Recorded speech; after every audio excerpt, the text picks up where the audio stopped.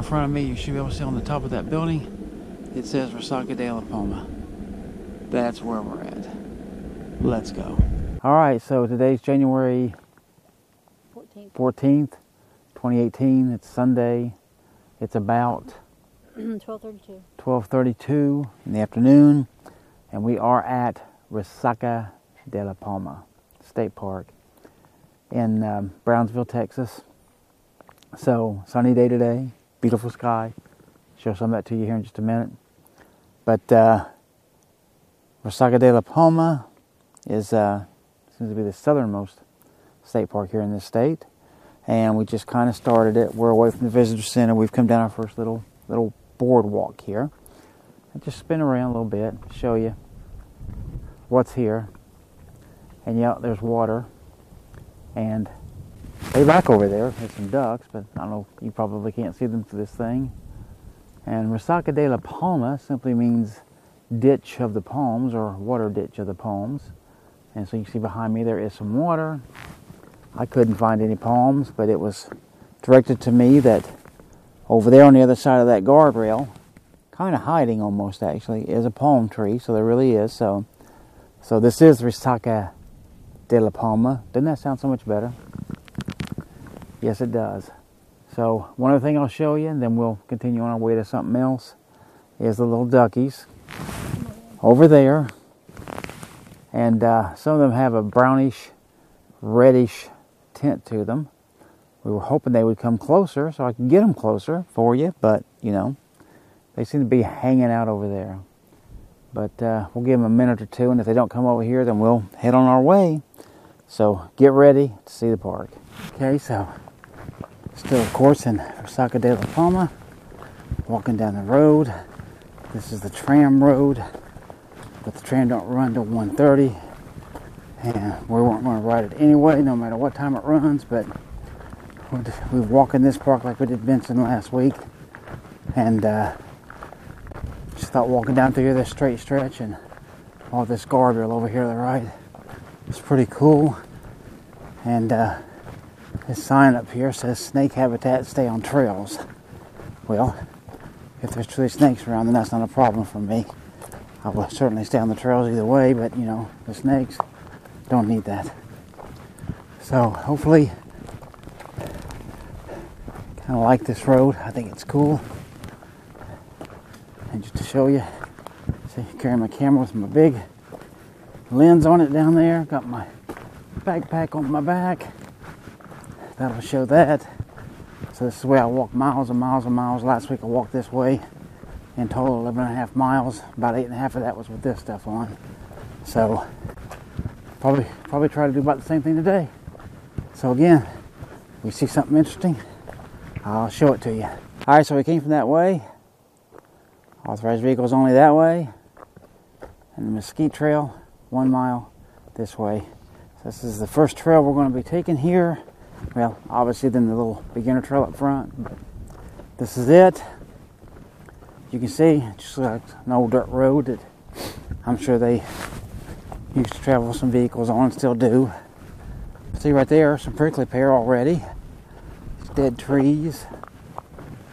And then just a lot of scrub land and all of that. But look at the sky. Ain't that pretty? Like the pretty sky, and boy, look at that prickly pear. Talk about a javelina dream. Boy, that's it. And over here, I don't know. Looks like hay. Old, old, old rotten bales of hay. Wow. Crazy. More prickly pear and stuff, but anyway, as we go along, we'll take more video and share that with you. So stick with us and we'll be back. All right, walking along. Country Road, my baby. Oh, wait a minute, that's a Neil Sedaka song. But anyway, ran across these little trees here. There's quite a few of them. And then as you get closer and more out of the sun, you see just how green these things are. They are truly lush.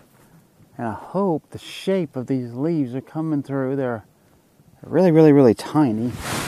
And they're really, really soft. And on these things, though, there are little thorns on the branches. So you got to be careful because I already have my finger stabbed. But the color caught our eye and we thought that was pretty, pretty cool. And see that the sun peeking through up there. And then see through here, quite a few more of these things. So nice little forest of them. So we got nice color added on this January day. See this prickly pear. Don't look in the best of shape, but here, just to show you the difference, look at look at the needles on that. Boy, them babies will take your head off in a heartbeat. But not if you're a javelina, they won't. They ain't no threat. But yeah, you see these trees all the way down here, especially on this right hand side. Some on this left too, but mainly on the right. It's like these things were planted or something. They're in rows there. It was like an orchard. So whatever they are, they're pretty cool trees, and we like them. And we'll get down here, and you can see down here it says trail closed. So we'll obviously go off to the right and head on down through there and see what else we can find for you. Hope you enjoyed that as much as we did. All right, so we've been walking down the trail here. Nice woodsy area, actually. Probably should show you a little bit on the way back, but anyway, we've come to this observation deck right here.